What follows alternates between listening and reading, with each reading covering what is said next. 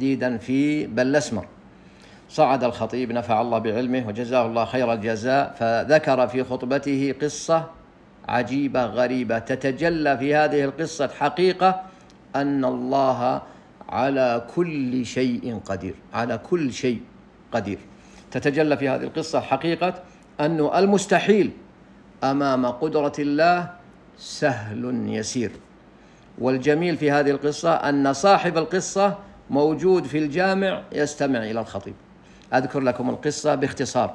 رجل من أهل بالأسمر شعر ببعض الآلام.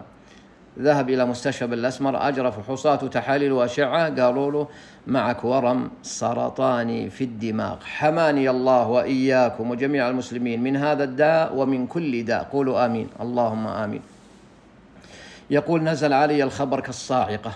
لكني رضيت بقضاء الله وقدره. حمدت الله على كل حال.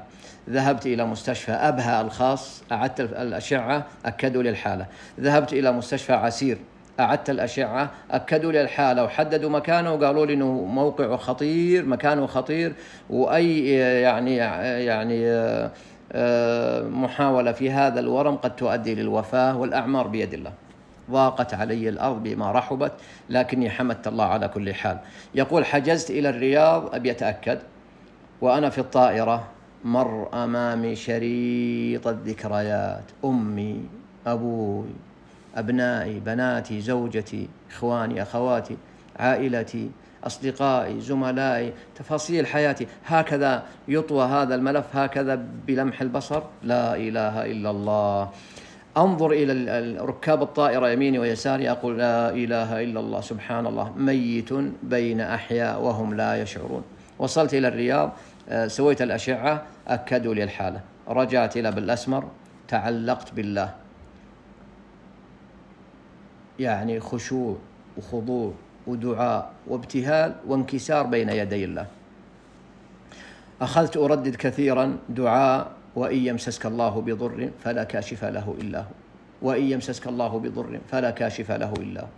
أردد الدعاء ربي إني مسني الضر وأنت أرحم الراحمين. ربي إني مسني الضر وأنت أرحم الراحمين. أردده كثيرا. أردد دعاء الكرب كثيرا. لا إله إلا الله العظيم الحليم.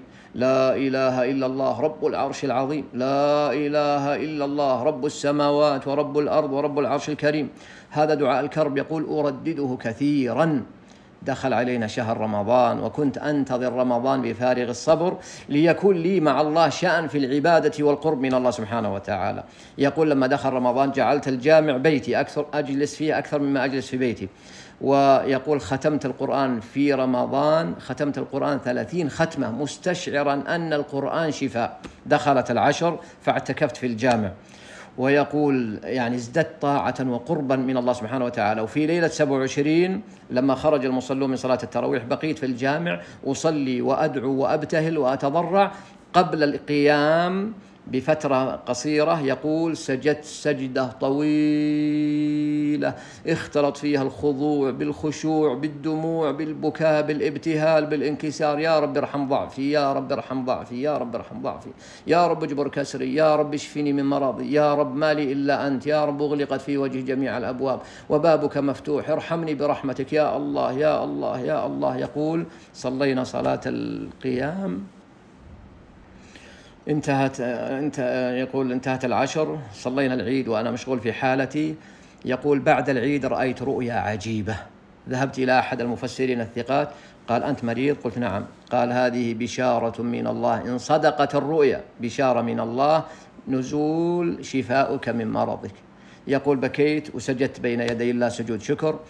ذهبت كان لي موعد في الرياض عدت الأشعة. يقول الأشعة القديمة الأشعة الجديدة أمام الدكتور وقف الدكتور واقف وهو مذهول ينظر إلى الأشعة وينظر إلي مستحيل مستحيل مستحيل. قلت وش اللي مستحيل يا دكتور؟ علما خبرني. قال لا يوجد أي أثر للورم. بكيت. سجدت في العيادة سجود شكر. قال أنت وش مسوي؟ قلت والله يا دكتور ما سويت شيء. والله سويت شيء واحد بس. قال وش سويت قال نقلت ملف قضيتي من الأرض إلى السماء. هذا اللي سويت. لا إله إلا الله. قال نعيد الأشعة. أعاد مرة ومرتين وثلاث. قال ما يوجد أي أثر للورم. إنه الله. إنه الله سبحانه وتعالى ضاقت فلما استحكمت حلقاتها فرجت وكان يظنها لا تفرج. أمن يجيب المضطر إذا دعاه ويكشف السوء. الله. الذي يجيب المضطر إذا دعاه ويكشف السوء. أنصح نفسي وأنصحكم. يا أصحاب الهموم والغموم يا أصحاب الحاجات يا من أغلقت في وجوهكم الأبواب عندكم الثلث الأخير من الليل. تضرعوا.